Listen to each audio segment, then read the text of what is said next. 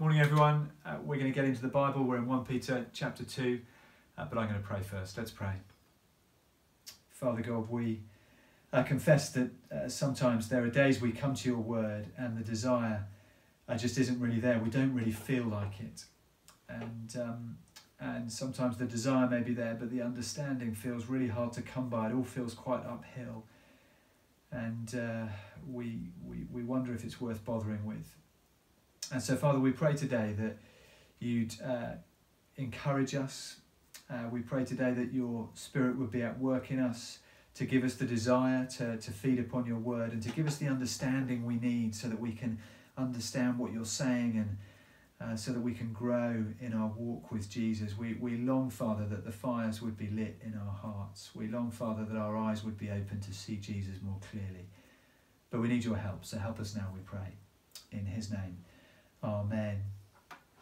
Uh, well, I'm going to read uh, from verses 1 to 3 of 1 Peter 2, and then we're going to look at verse 3. Peter writes, Therefore, rid yourselves of all malice and all deceit, hypocrisy, envy, and slander of every kind. Like newborn babies, crave pure spiritual milk, so that by it you may grow up in your salvation, now that you have tasted that the Lord is good. Okay, so we're to crave the, the pure spiritual milk of God's word uh, because that is how we'll grow up in our salvation as the Holy Spirit does his work in our lives. Um, but let's just stop and be honest for a moment. Uh, the truth is, we don't always feel it, do we? It's not always the case that we get out of bed in the morning with that craving for God's word. And um, uh, sometimes the truth is, we just find it quite hard work to open up our Bibles and, to spend time with God like that. And sometimes it becomes such hard work that actually it's just easier not to do it at all. Uh, and, and it becomes discouraging to even try. And our Bibles begin to gather dust, and our hearts begin to feel uh, perhaps a little lukewarm, even cold. We feel distant from God. Sometimes we even feel guilty, and, and it's a miserable way to live the Christian life. Can I tell you this morning, that isn't how it's meant to be. That is not how God wants it to be. And uh, if that is you this morning, feeling maybe a bit discouraged, can I encourage you? You are not alone. I, I don't know of a Christian uh, who doesn't sometimes have periods in life when it all feels a bit like it's hard work and, and reading our Bibles feels a bit uphill and God feels a bit distant. And uh, I, don't, I don't know of another Christian who doesn't sometimes find themselves in the desert and their relationship with Jesus feels dry, and uh, reading God's Word uh, just feels like it's really uh, hard work. So, what do we do about that this morning? Well, first, we take encouragement from the fact that we're not alone, but second, we, we look at these verses here, for example, uh, where Peter says, verse 2, crave it. Crave the pure spiritual milk of God's Word. Now that you have, verse 3, tasted that the Lord is good. Crave it, God's word, now that you have tasted it, God's goodness. Uh, coffee lovers will tell you, won't they, that once you've tasted the the real thing, as it were, you know, the kind of uh, the fresh stuff that's specially imported. Once you've tasted that, you'll never go back. You know, you, you won't ever want to touch the cheap instant stuff again, sort of thing. You will only ever want proper coffee, uh, as it's called in our house. And that's kind of the idea here to taste and see that the Lord is good is to experience His goodness in our lives personally. And if you're a Christian here, then that is an experience that you know and that you can recall. Uh, Peter takes this little phrase uh, about tasting that the Lord is good from Psalm 34, where the Hebrew King David uh, rejoices in um, the deliverance that he has experienced uh, thanks to the Lord. Uh, so the Lord delivers him from the hands of Abimelech, uh, and Peter, uh, rather David, celebrates that, and indeed celebrates the ultimate deliverance from suffering that he knows the Lord will give him. And of course, uh, deliverance beyond suffering is what Peter's letter is all about. And Peter's readers have experienced the goodness of the Lord in delivering them from the suffering of sin and death. They've been saved. And David invites uh, all of us uh, to taste and see that the Lord is good. He's experienced the Lord's goodness in his trials, and he says to all of us, Come and experience that for yourselves. The Lord is good. And if you're a Christian here, you know that because God has saved you. Peter's readers here, first century, Asia Minor, they, they have experienced salvation. And they now know of a living hope that is theirs. They look forward to an inheritance that can never perish, spoil, or fade.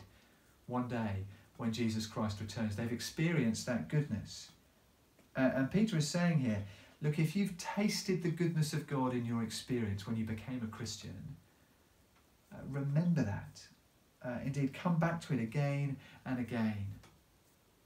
Uh, people sometimes say that uh, the, the way into the Christian life that is through the living Word of God, where we hear the gospel, and through the work of the Spirit, we're born again into new life, is also the way on in the Christian life.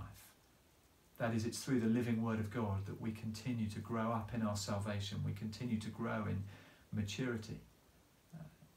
The way in is the way on. The way we started is the way we continue. And that's kind of what Peter is saying here. And he's saying, Look, you have tasted that the Lord is good. You've experienced the blessing of salvation through the living word of God. Now, now crave that living word because it's all you need. The way in is the way on. And of course, once you get a taste for something, whether it's something as trivial as coffee or something as wonderful as the precious gift of salvation, once you've tasted it, you only want more of it and you only want to know it more deeply and more richly in your life. Uh, now, of course, if we don't always find ourselves craving pure spiritual milk, then it may be because we've been taking on too much other milk, uh, the, the, the, kind of the, the messages of the world around us, um, whatever it is on social media, whatever it else uh, is that we're, we're watching or, or, or reading. And sometimes we're so bombarded, we're so sort of intoxicated by all of that, that we, we find we've sort of gone off the, the pure spiritual milk of God's word. Maybe we just need to look at the diet a little bit. Or maybe we've just taken our eyes off the Lord Jesus altogether and we've forgotten God's goodness. I think verse 3 here is a, a reminder and an invitation to us to come back to the Lord's goodness.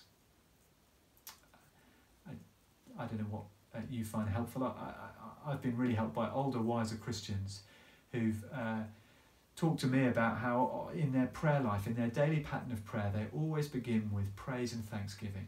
Whatever their mood, uh, however well they slept or not, whatever lies ahead in the, the day that's coming, they, they, they force themselves to thank and praise God for His goodness.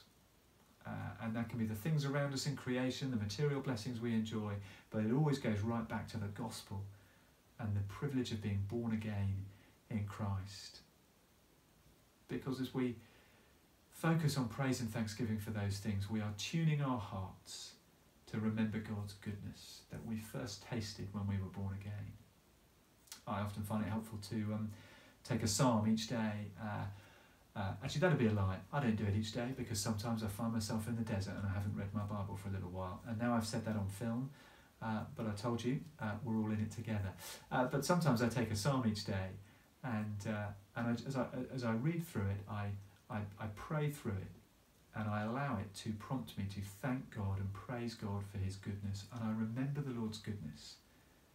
And as I do that, I find my hunger returns for the Word of God because it's where I'm reminded of the goodness of God. If you've drifted from the Bible, if you feel like you're in the desert, don't be discouraged, you're not alone. But don't stay in the desert, come back. Remember God's goodness and come to it in His Word. Why not have a conversation with someone today about your spiritual diet? And does it, does it need to change a little bit? Would that be helpful? Uh, and let's pray before we get into the day. Let me pray. Father God, we thank you for the reminder and the invitation here. Uh, we um, thank you that it's our great privilege as Christian believers to have tasted that the Lord is good. We've experienced your deliverance from sin and death. And you promise ultimately one day to deliver us from suffering, from all the, uh, the, the, the, the suffering in our world today. And we thank you and praise you for that.